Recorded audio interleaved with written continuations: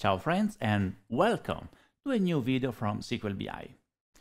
In this video, we are going to continue our series about the foundation of DAX by introducing one of the most complex and hard topics for newbies, that is the context transition. Context transition is one of the topics that newbies really hate because it looks extremely complex. Now, let me tell you this loud and clear. Context transition is not complex. It's quite simple indeed. If you are finding context transition to be a hard topic to learn, that only means you are not yet familiar enough with the row context, the filter context, and calculate. That means you need to practice more. You need to go back to the foundation, learn it better, do some practice, and then come back and learn about the context transition. Because if you are not familiar with the difference between the row context and the filter context, then for sure context transition will be a nightmare. Whereas uh, if you slow down and learn the theory the right way, then context transition works uh, really smoothly. What is context transition? Well, context transition is one of the operations that calculate performs. And when the context transition happens, uh, calculate transforms uh, any existing row context into a filter context. That is the reason why you need to be familiar with the row context and the filter context, because they are different and calculate transforms one into the other. So you need to know very well the differences in order to appreciate what calculate does and why context transition is important. One of the reasons context transition is perceived as a complex uh, operation is that it's not easy to spot when context transition happens. In order for context transition to happen, you need to have a row context and you need to invoke calculate. Two ingredients together trigger the context transition. Sometimes they are hidden and it's not so easy to understand that context transition is happening. Let me show you this with several examples we start from this report that is showing by year and month the value of the sales amount. Now let's pretend we want to compute the sales amount for only the big customers, that customers that spend more than 5,000 in uh, our products. So we can achieve this goal by filtering the customers that spend more than 5,000 and then summing their value. And in order to do that, we are going to rely on context transition in a very explicit way. It will be simple to discover where context transition is happening. So let's write the code together. We want to build a new measure that we call sales of big customers with a much larger font. Sales of big customers we need to start an iteration because we want to do the operation customer by customer. So we do sum x over the values of uh, customer, customer key. Sum x introduces a row context and the row context contains the customer key. In order to compute the sales amount of the current customer, we need to invoke context transition. So let's store in a variable customer sales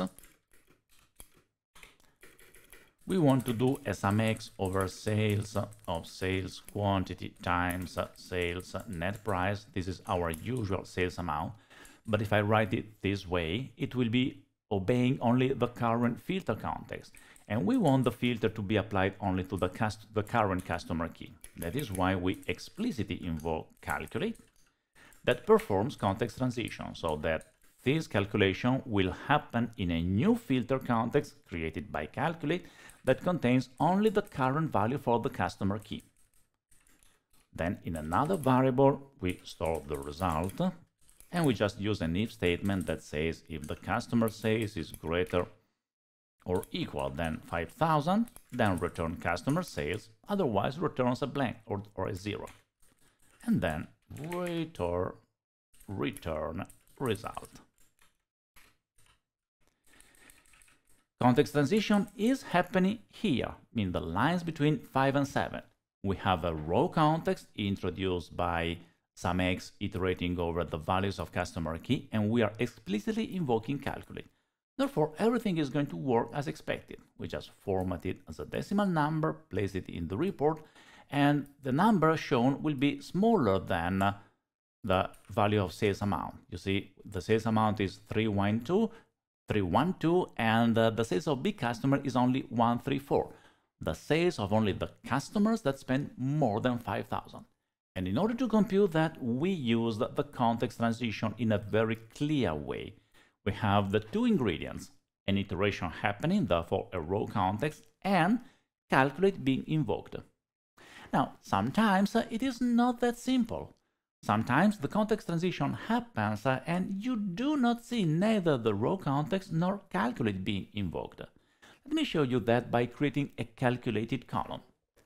We can create a calculated column in the customer table. So we just go in customer, uh, not in sales, but in customer. And I can create a new calculated column. So let me create a new column that we call just sales, where uh, with a larger font as usual. And we just call sales amount. Now, you see that we do not have a clear indication about calculate being executed and we do not see the row context because we have no iteration happening. Nonetheless, the context transition is happening here. As usual, let's format it as a decimal number. And you see that the value of sales is a very different value for every customer. For every customer, we have the sales of the, the current customer only. Why that? Well, we are using a measure and measures are automatically surrounded by calculate. So calculate is here even if we don't see it. That would be the same as writing calculate sales amount. We don't need that calculate because measure reference are always surrounded by calculate. That is part of the definition of DAX.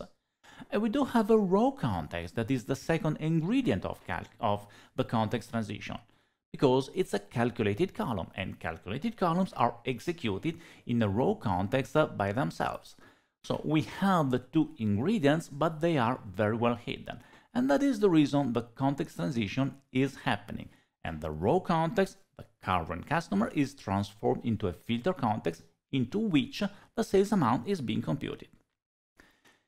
Let me show you with the code that we wrote for the measure in a better way or in a more clear way what is happening here.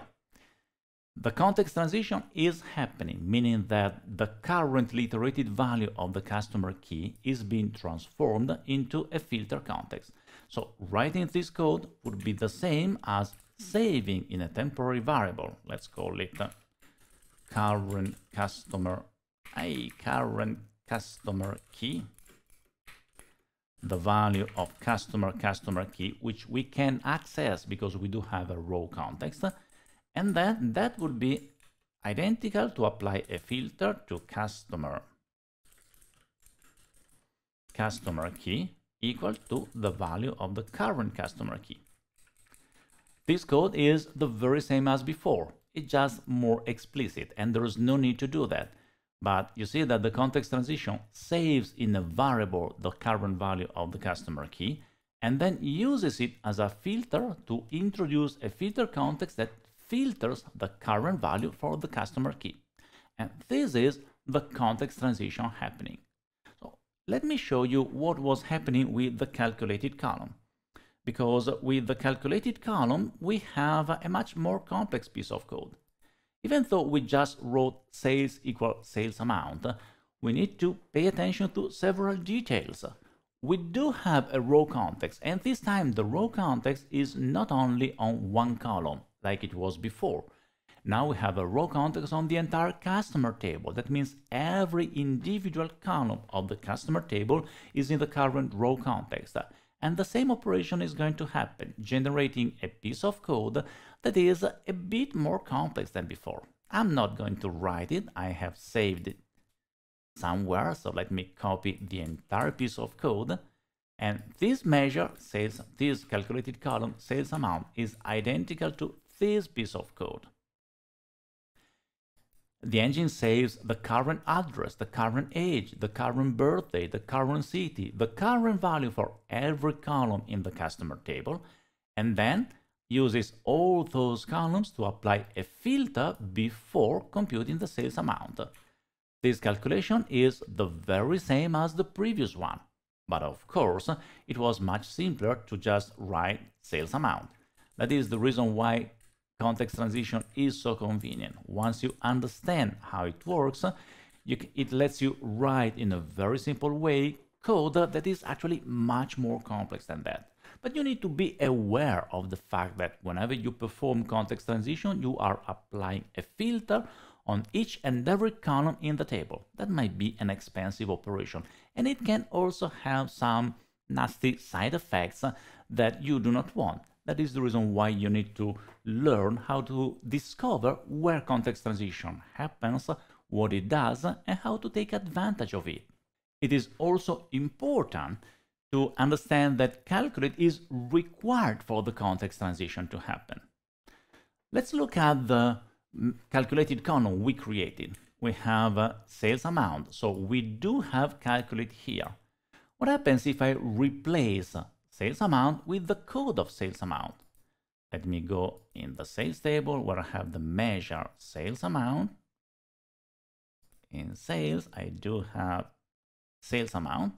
I can just copy the code of sales amount. Then I go back to my customer table in the sales calculated column and I replace sales amount with the code of sales amount. The code, the DAX code is the very same, but because I'm not calling a measure, now there is no calculate, and calculate is needed in order for context transition to happen. Indeed, if I write the code this way, you see that the value of uh, sales is always the same number because context transition is no longer happening. Therefore, you do not have the calculation happening for the current customer only.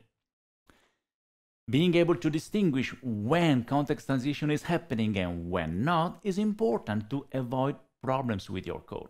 I want to show you a simple example where I'm going to compute the running total of sales and we write the code in two different ways. One will be wrong, the other one will be right, and the wrong one is wrong because of the context transition. So the running total of sales is the value of the sales amount for all the dates that happen to be before the current date. So I will need a measure to compute the current date and then I will use it as a filter over the date table in order to extend the filter context to include all the values or the dates that happen to be before the last visible date. Let's do that together. Let's get rid of sales of big customer I want all the dates that happen to be before the last date. So I can start by writing a new measure, let's call it max date. That is just the max of date date. This measure in every cell will return the last visible date. And you see that it shows uh, the 31 of May, the 30 of June, the 31 of July. It's always the last date in the current filter context. Then I'm going to use this measure in order to compute the running total. And the running total is not that complex to compute. We just need to apply a new filter. So we can write a running total of sales. We are going to write two versions. So we start with running total sales 1 that uses calculate, computes the sales amount, and then we want to change the filter context on the date we want to ignore any filter on the date. And then we want the filter to say the date needs to be less or equal than the max date. I'm messing up with parentheses. So this code seems to work. It's just filtering all the dates where the date is less or equal than the max date. We just hit enter, format it as a decimal number. And if I place running total sales on the report, you see that it doesn't work. It always returns the grand total of sales. So for sure there is something wrong here. And the problem is the context transition. Can you spot where context transition is happening here? Remember, the context transition requires an iteration and calculate. We don't have an iteration here. Filter is an iterator that is scanning the date table. So during the evaluation of this condition, we have a row context that includes all the columns of the date table. And we are calling a measure max date. Therefore, calculate is there, and the two ingredients of context transition are there, iteration, calculate together. Therefore, this max date is not computing the max date in the current filter context. It's computing the max date in a new filter context where the date is only the currently iterated data. That is why this returns always all the dates. If we want to compute the running total sales the right way, we need to create the measure without relying on context transition. And we can do that by writing running total sales 2. And here, instead of using max date, I just write max of date date. The only difference between the previous version and the current one is that calculate is no longer there. Having removed calculate, context transition is no longer happening. And as usual, we format it as a decimal number place the running total sales on the report, and now we obtain our running total sales that computes the correct value. So, in order to understand and take advantage of context transition, you need to quickly spot that here we do have a problem because the two ingredients of context transition are there, therefore this number is wrong, whereas this one that looks totally identical is not, because now calculate is missing. As you have seen, Context transition in and by itself is not complex. The real problem with context transition is uh, being able to spot it the easy way. Understand that context transition requires an iteration happening and calculate. And when the two ingredients are there, calculate transforms the row context into an equivalent filter context by placing a filter on all the columns that are currently being iterated. The context transition works on any row context. So if you have multiple row contexts, they will all will they will all be uh, transformed into an equivalent filter context. In order to take advantage of context transition, what I always suggest is practice, practice and practice. During our training, both in live and in the video training, we spend a lot of time with exercises which are designed in order to teach you the basics of context transition the right way by showing how calculation can be right or wrong depending on whether you spot and understand the context transition. DAX requires you to slow down, learn the theory first, and then practice later. If you start writing complex code without having had a proper training and a proper set of exercises, uh, then it's very easy to compute the wrong number and think about context transition as a complex topic. It is not.